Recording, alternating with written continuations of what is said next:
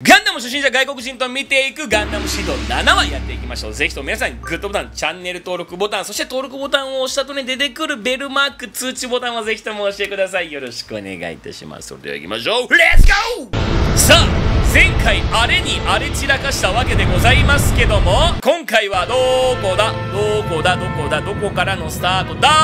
これは、あの、仮面の兄ちゃんのラウ侵入ベクトル合わせビーコン補足を確認。進路修正0ポイン会議だけト3マーク16ポイント2デルタ。議会。回答180度減速開始。おう。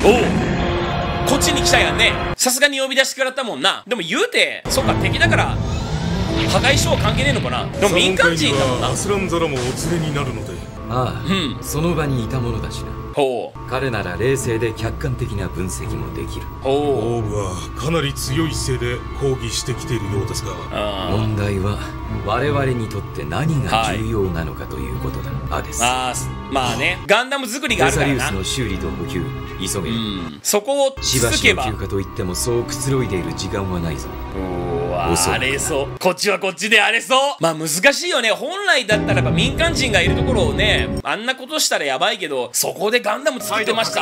はやばいよね。半径5000に鉄管の反応は捉えられません。おおよかった完全によかっこちらをロストした模様。たよかった。アルテミス一旦は。がうまく敵の目をくらましてくれたってことかな。そういうことっすね。だったらそれだけは感謝したいがね。しかし、ええ、いいトゲいいトゲ。本当にそう。あんなことがしやがっロストしててくれたのは幸いだけどせめてデコイこになれ。ちらの問題は何一つ解決していないわ。まあね依然とな。どうしても。うん。どうしてもとか言われると困っちゃうんだけどさ、どうしても？何何？でもやっぱ謝っといた方がよくない？この場合。お前の一言のおかげであいつがとんでもない目にあったことは事実だはいからな、はいはい。でも俺たちは慣れなんやこいつちゃってるけどさ。なんやこいつ？コーディネーターだってのは微妙な問題なのさ。あのねこの作品を見て初めてどれかのキャラにイラッとしました状況的にはさコーディネーターコーディネーターとナチュラルの戦いを描いてるところにしかもコーディネーターは核攻撃食らったんでしょ？血のバレンタインで。でそれが何の恨みもナチュラルに持たずにこっち側についてくれてんのにそれをさ彼コーディネーターやでとかって言ってさ彼があの本当に乗りの乗ってんだよガンダムにとか言って全部バラすんでその情報特にいらんやん。でそれに悪びれもなくっていうのはちょっとねあの一発チョップ入れた方がいいんじゃないかなっていう。これこれをやった方がいいんじゃないかなっていうふうに思いますけどもね。あ横からの縦からのね。状況じゃね？初めてイラッとしました。くいいだけは言っときなよ。うんうん可愛いけどな。この船の中で気まずい。でしょ、交わした時とか。大人と子供じゃねえかよ。がそんなに言うならあ？自発的に行けれからやどうなるんだろうな。察しろ。この船 察しろや。なんやこいつ。補給って受けられなかったんだろ。ハリセン欲しいわ。ザフトもまだ追ってくんのかな？まあ追っては来るけどもねもちろん。そこの航路いやでも今状況的には追えねえか。航路を向かえばだけどまずあそこを潰せたんでね。徹底サーチのぶっ潰し。こっちはこっちで左門会議がある。ごなると堂々させていただきます。ザダ国防委員長官かお堂々って言った今。お堂々お堂々何何？ご堂々させていただきます。ご堂々？ザダ国防委員長官堂々？初めて聞いた。わ不要だ。私はこのシャトルには乗っていない。おおいいかねアスラ。ほうわかりました。そういう体か。父上。です。父上私はこの船に乗っていない。意味深だね。ここに私はいちゃいけないということだ。リポートにそれでも来た君の意見には無論私も賛成だ問題は奴らがそれほどに高性能のモビルスーツを開発したというところにある、やっぱそこだよね。パイロットのことなどどうでもいい。うーん。うーん。その箇所は知ってるんだ。私の方で削除しておいた。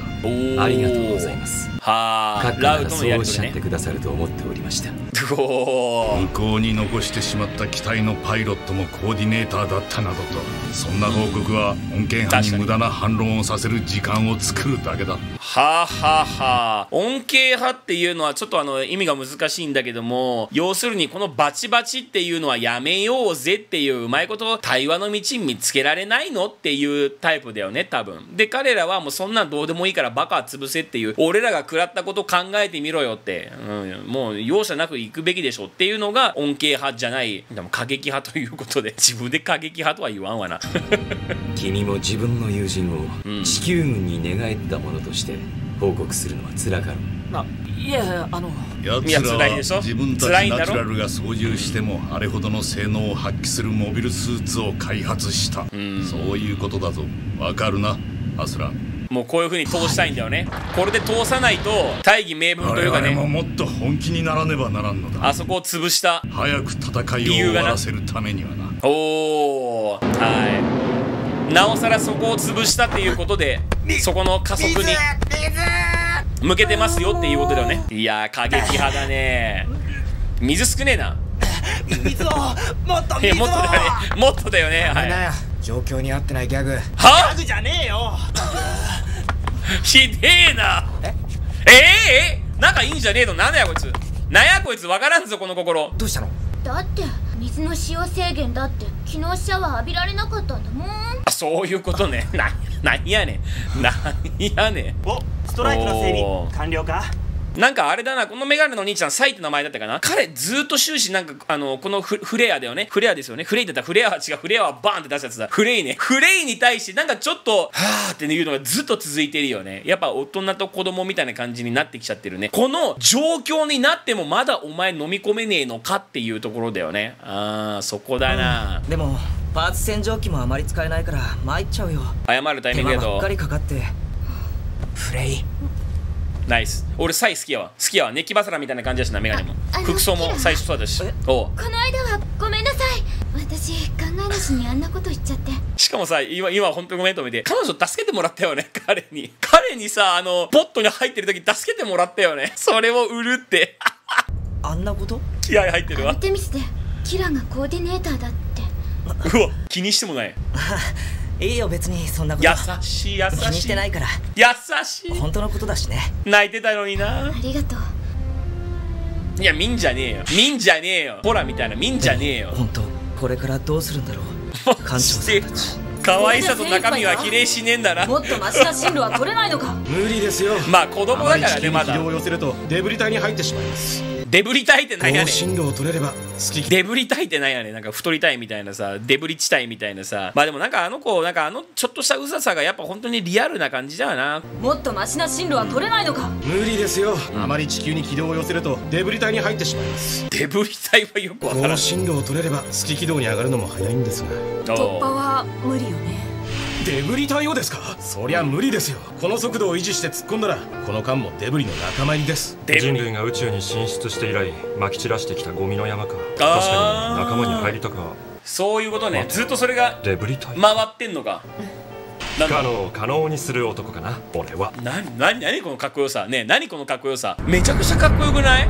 やっぱここでのなんか小安さんやばいね。めっちゃ頼りになるんだけど。終始頼りになるんだけどええな。ええな。フラガ大先生。では次にどう。ユニウスセブン追悼ゾディアック。式典を控えグラニ最高アル委員会議長アリがあアリアナグランデしました。アリアナグランデ。読めねえ不幸な出来事は我々にとって決して忘れることのできない。こっちだったのこの姉ちゃん。あーやっぱそうか。やっぱそうか。そっかそっか。なんかあのオープニングとかエンディングでいる位置がねえなんかアスラン側な感じだったからそっかそうきたか深い悲しみです。はそういえばはこの姉ちゃん彼は女が君の婚約者だったな。ラクスね。婚約者ラクス城は今回の追悼慰霊団の代表をラク務めるじゃないか素晴らしいことだなクライン、クラインラクスっていうのはザラ委員長とクライン議長の血を継ぐ親君らのも同じだ結びつきクライン次の世代にはまたとない光になるだろうクラインクライン涙ありがとうございます気になるねなんか悲しい方向に行きそうやなそこの姉ちゃん可愛いな今我々は守らねばならんおー。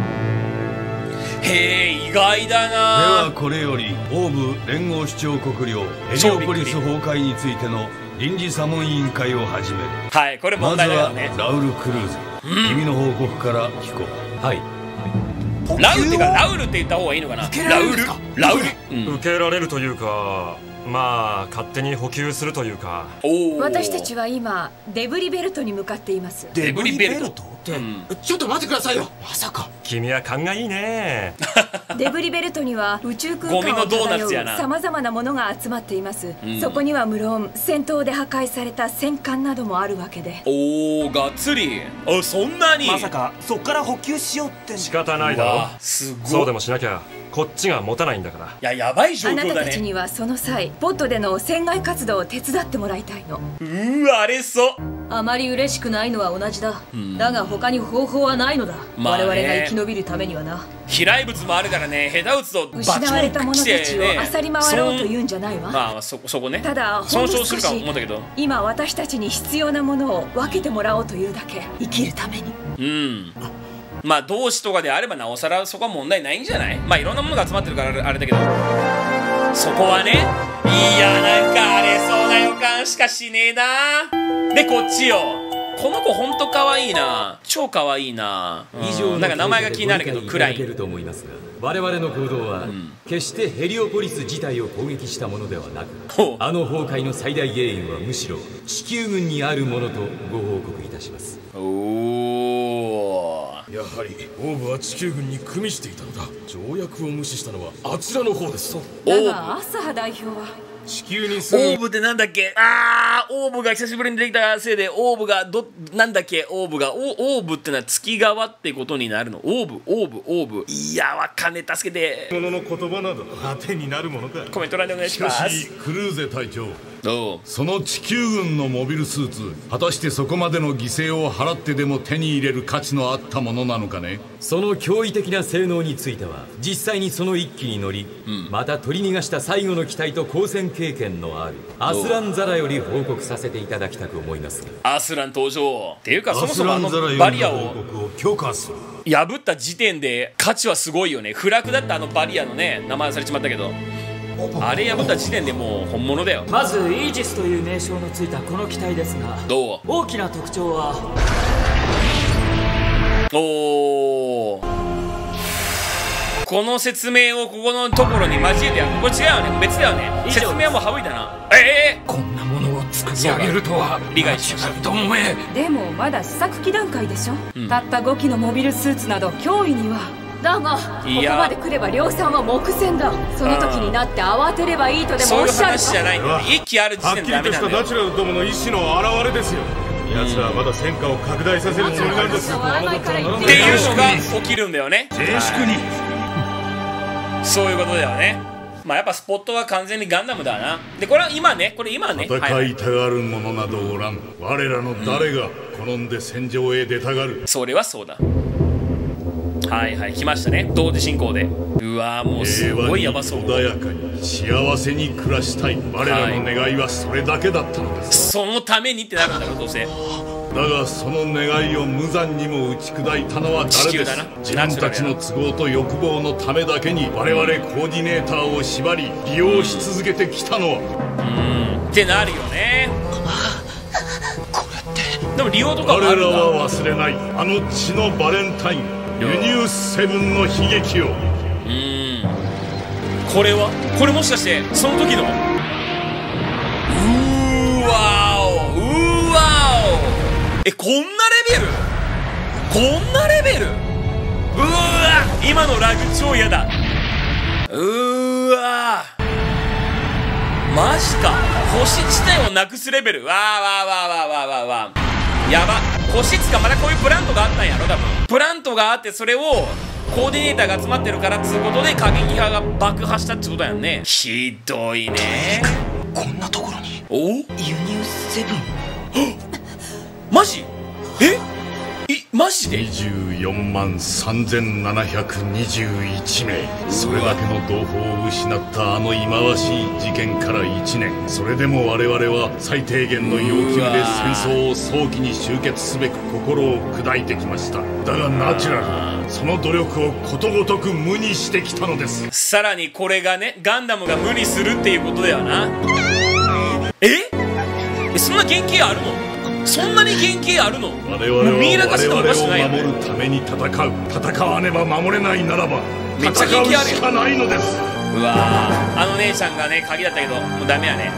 あー致し方なしっていう感じやな。あそこの水を本気なんですか？あそこには1億トン近い水が凍りついているんだ。でもナダルさんだって見たでしょ？あのプラントは何十万人もの人が亡くなった場所でそれを。水いやー。はあれしか見つかっていないの。関係ないわなそれは。大喜びしてるわけじゃない、うん。水が見つかっ致した方なしなんだよ。テオフラが大意仕方ないんだよ誰ってねこれが。できればあそこに踏み込みたくはないさ、うん。けどしょうがねえだろまあお墓みたいなもん俺ただもんね。ちは生きてるんだ。ってことはお墓って綺麗なも生きなきゃのでもなんねえんだよってことなんだよ。悲劇の血だからね。うん。複雑これは。しかも自分ら加害者ってことだもんね。ナチュラル側目線で言えば。クライン議長閣下お他人行儀な礼をしてくれるあクラインが親のあれか名前か戻ったと思えば今度はラックス。が仕事でおらん、うん。ラックスだね。全く君らはいつ会う時間が取れるのかな？お申し訳ありません。私に謝られてもな。しかしまた大変なことに政略なりそう。結婚ってやつ？で何これ？何これ？君の父上の言うこともわかるのだな。この壁画のものは何なんだろうな？アスランザラどう？あの心臓管とモビルスーツを追う。おおラコーニとポルトの隊が私の指揮下に入るあら新しいやつだね。は72時間後だ。早っ。失礼いたします。であそこで回収してる間に攻められるわけが。いやー来なきゃいいと思ったけどやっぱ来るよな。月に到着するまでに攻め落とされるわな。我々にはそう時間はないのだ。いたずらに戦火を拡大してどうする。だからこそ許せんのです。我々の邪魔をする者は我々には時間がない。時間がない。我々にはそう時間はないのだ。なぜ時間がない？いたずらに戦火を拡大してどうする？寿命の話？何？資源？何？我々の邪魔をする者は。何なんでしょうね。でこのこれ何なんだろう？そこに移住したいの？これに移住したいの？何これ？わかんねえ。ラックスかわい。いいろんな角度からかわいい。えめっちゃ人気やん。やば。アイドルやん。歌うの？アイドルマジでマジ？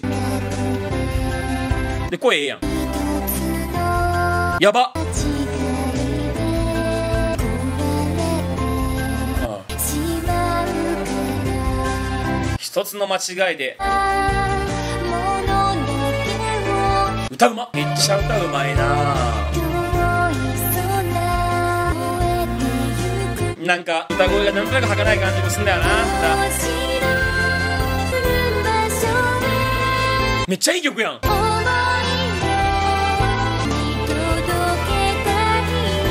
えめっちゃいいな。わーわーうわえらえらなんやこれ。うわーすご素敵やわ。こういうナチュラルもいるっちゅうことやなこれはな見てもらいたいね。せめてこれを見てほしいわ。うわー複雑やな。うわ。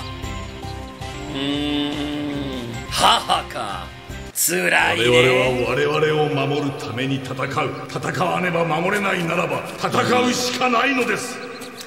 まあ合ってるんだけどねあとどのくらい？どう4時間ってとこですかね。これを溶かすか。弾薬の方はあと1往復で終了ですが。うんうんうん。おなんだあれは？あれは？民間船？民間船？撃沈されたのかこれ。うわお。え？うわ来た。誰これ？あ追加の部隊か。今言ってた2名。陽光偵察型草の陣なんでこんなところに？ジン。ここではジンっていうのが出てくるんだよね。ザク的な感じではね。確かジン。教えてもらいました。コメントで。いつもありがとうございます。応援を呼ばれたらアウトだ。おお潰すか。うわかっこよ。え彼本当に判断力いいよな。うん。撃つ。いけるか？ここまでは本当に完璧だよ。いけ。言ってくれ。そんまああ撃ちたくないよね。できるなら撃ちたくないよね、うん気づかれるか？おおなぜ？なぜ振り向く？うわこれに気づいたか。なんで気づくんだよ！撃つしかねえか。ソフトの。いや撃つしかない。急げ。やるしかない。諦めろ。うわー！やばいやばいやばいやばいやばいやばい。いやもうしゃあないしゃあないしゃあないこれは。いやもう一発もう行くしかない。もう行くしかないこれは。でもううわうわー。致し方ないんだけどもう一つ折り鶴が。いやこれが戦争なんだよなやりたくないんだよ。これ初じゃないこれ。ま、死ぬかと思った。うわいやしょうがないってこれは。やらなかったら今仲間がもっと殺されてたもん。つらいな超きついね。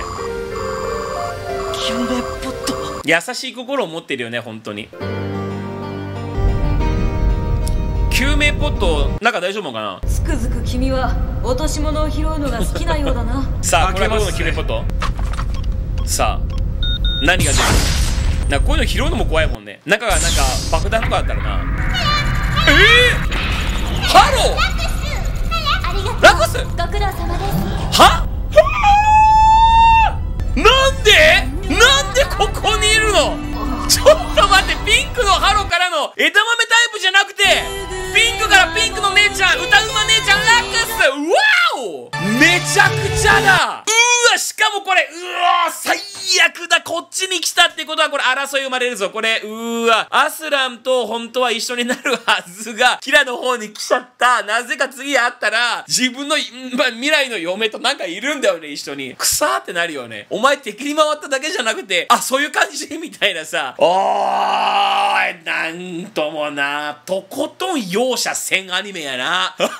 マジで。いやきついねいやなんかどうなるか気になりました。でもなんかねやっぱ戦争ってこういうもんだよね。なんか本当にピュアな心で言ったらもう本当にぐさぐさにやられるよね。なんか水星の魔女でスレッダーがまあミオリヌさんを助ける時にまあみんなの言うトラウマシーンね。あのトマト愚者事件をぶちかました時に俺あれに関してはあの何もスレッダーに思わなかったのよ。なんていうか俺が逆だったら自分の仲間を助けるために余裕であれぶっ潰すし何もなく。まあヘラヘラ笑ってるのがあかんっていうのがみんなの意見で最終的なね。それは俺も賛同。ヘラヘラ笑ってる場合じゃないから。やるしかなくて一個の命を紡いだわけだからこれはなんか本当にヘラヘラするとこじゃないんだよね。だからそれはあれなんだけどただやっぱ今のもキラがやらなかったら仲間が2人少なくとも死んでたんだよね。うん。っていうのはやっぱもう戦争にいるっていうことだからやるしかないし。で彼はそれを理解しながらやれる男なんだよ。だから悲しいんだよね。うん。なんかそういう感じ。やれるから関係なくバチコンを打つっていう話じゃなくてうん。やれるけどもっていうどんどん精神すり減らしてるって話だよね。だいぶ悲しいよね。はいということで ちょっとこれ救命ポットから何が出てくるのか普通に考えてあそこのねところにあるのはもうなんか死体の山があってもおかしくないからさ救命ポットに時間経った人たちが入ってるのかもしくは嫌がらせの爆弾が入ってるのかっていう最悪のパターンを考えたらなんで姉ちゃん入っとんねんっていうね。もうだいぶびっくりです。だいぶびっくりです。はいということでどういう風になっていくのか。第8話続いて見ていきましょう。ぜひとも皆さんグッドボタンチャンネル登録ボタンそしていろいろとわからないことは僕あったと思います。コメント欄で助けてください。よろしくお願いします。あと通知ボタンは本当にめっちゃ大事なんであのベルマーク。みんながっつり押してください。お願いしますまた次回お会いしましょう See you next time!